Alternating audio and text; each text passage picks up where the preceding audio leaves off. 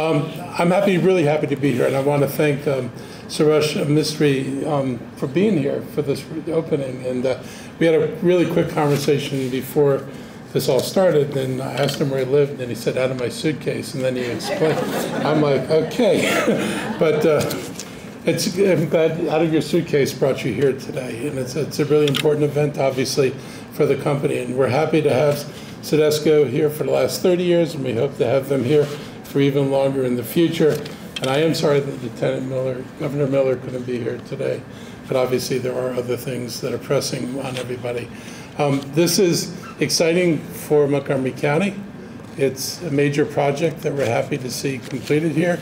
And it is coming to one of the most vibrant parts of Montgomery County, landing in Pike and Rose District.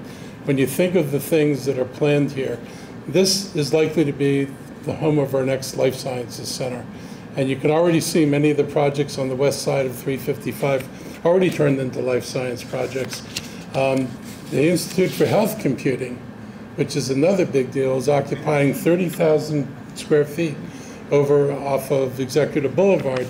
And that's something that Sodexo might actually find interesting because their goal is to help economic development, not just in health computing, but I do understand you're in medical devices now as well. You may find that interesting, but also in terms of the use of AI for business purposes. And so they're a, they're a welcome neighbor, but they're also eager to help and be part of the ecosystem that's in Montgomery County.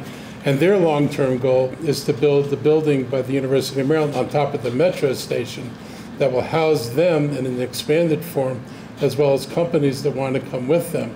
So as you can see, the plans for this area are pretty significant. And the Pike and Rose area is going to become, I think, one of the major centers, if not the major center of economic development in the county over time.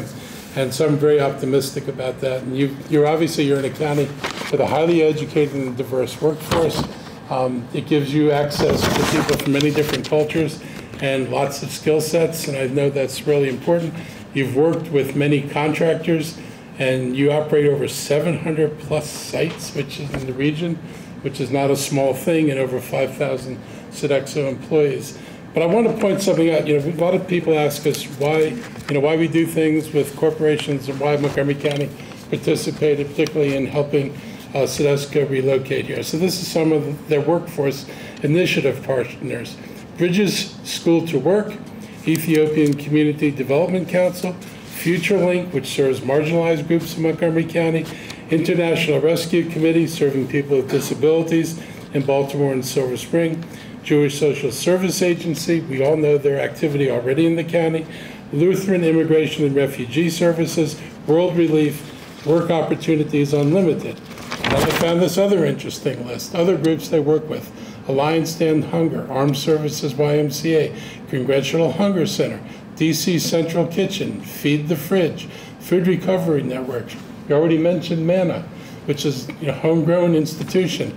Metro DC Hispanic Contractors Community, Montgomery County Business Leaders Fighting Hunger, Share Our Strength Foundation, Together We Bake, Youth Service America. That's a pretty long list of people that Sodexo, Sodexo is engaged with in Montgomery County.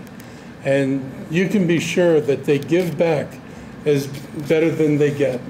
This, this deal and this arrangement with their history of engagement with our community helps ensure that their presence here will continue to be a presence that not only builds their business and helps their employees, but helps the community as a whole. And it's great to have a partner at all levels of presence in Montgomery County, not just as a business partner, but as a community partner as well. So I want to thank you for this opportunity to speak this morning. I want to recognize the work you've done in our community, and I look forward to partnering with you and introducing you to some of the folks across the street when the time comes so you can see what kind of things we might be able to add to your mix that make you even more successful. So thank you all very much.